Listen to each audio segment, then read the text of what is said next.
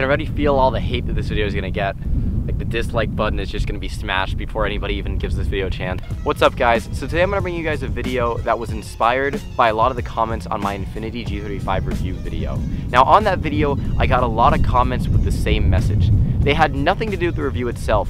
All that they said was how stupid it was that the car was automatic and not a manual transmission. In the car community, it feels like if you buy the automatic version of a car that also comes in manual, it's kind of like wearing a Make America Great Again hat to the Democratic National Convention. Like, people don't give your opinion a chance, they just immediately jump to judging you. So today, I'm here to back up the people who choose automatic cars with some reasons for why an automatic car may be a better option for you than a manual transmission car. Now, don't get me wrong, I love driving manual. The car behind me, my race car, that's a six-speed manual with three pedals proper, and I love it.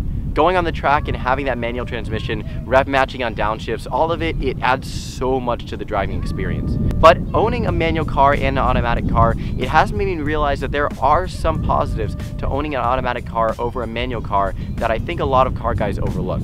So today I'm gonna bring them up to help you decide that if you're considering buying a manual or automatic car, maybe these are some things to consider before making that decision. The first reason to buy an automatic car over a manual car is if you live in Southern California or anywhere that compares, the traffic is awful, like awful. In California, we have six of the seven busiest and most trafficy highways in all of the world. Six out of seven. And going through like normal traffic, it's like no big deal. Like going through like maybe like 30 mile per hour, 40 mile per hour traffic, it's fine. You could drive a manual car through that and it'd be okay. But bumper to bumper, stop and go traffic in a manual car becomes very annoying very, very quickly. So if you live in an area that has that much traffic, maybe you should consider buying an automatic car just because you will get very, very sick of driving manual in those conditions. I know that I have. Now the next reason to buy an automatic car over a manual car is more performance enthusiast oriented.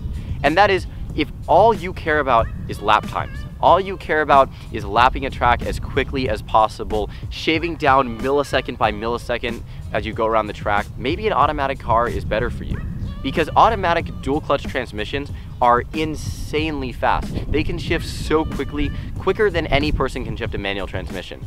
And so if your goal is to go around the track as quick as possible, like millisecond by millisecond, then maybe an automatic car is better for you because you can shave off those little seconds because you don't have to shift and you don't have to rev match. You have that dual clutch working in your advantage. Now, another reason to buy an automatic car over a manual car is because automatic cars generally would get better gas mileage than a manual car. And if that's something that you really care about, maybe you live in a city that has a, a lot of traffic and so you spend a lot of time in stop and go traffic and that costs you a lot of money in gas or just the gas price. If you live in California, which has just terrible gas prices and terrible traffic, again, maybe you should consider buying an automatic car because the CVT and Nissans and stuff like that get amazing gas mileage, way better than manual cars can get.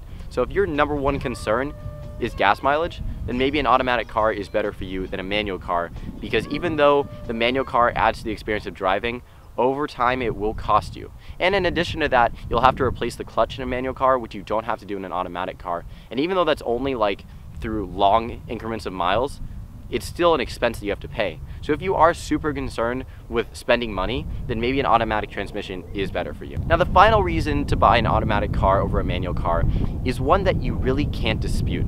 Even if you found flaws with all of the reasons that I've given in this video so far, you can you can shoot down every point that I've made and, and you can simply say that manual transmissions are better than automatics in every situation. This is one that you cannot argue with. If someone prefers to drive auto over manual, then they should buy an automatic car. If they don't care about shifting the car or having that control with the engine, then you can't stop them. You can't judge them for whatever they want to do with their car. This kind of goes along with my rules of being a car guy episodes, but if somebody wants an automatic car, then you shouldn't tell them that they made a mistake. If they want that for their car, let them do it. I can't I can't stress that enough. In my Infiniti G35 review, I got so much hate for the car being an automatic. But the thing is, it's my car. It's not your car, it's my car. So if you have a problem with automatic cars and you prefer to drive manual, then by all means, buy a manual car. but you can't judge other people for their preference because why would your opinion matter if their opinion doesn't matter? It can't work that way. You have to let people have their opinion if you want to have your own opinion, and you should respect everyone's opinion equally.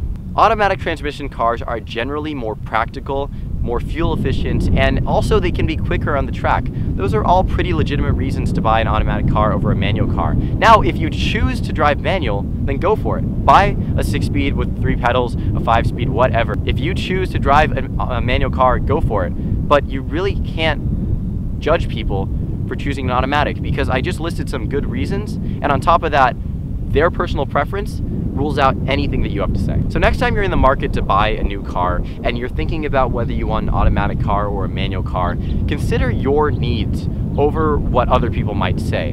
Consider what you want in a car and that should be the deciding factor if you buy an automatic transmission or a manual transmission or a six cylinder or a four cylinder. What you want in your car is what you should do. Thank you guys so much for watching this video. Make sure you guys smash that like button. Make sure you guys hit subscribe. Follow me on Instagram, Snapchat, and Twitter. See you guys next time.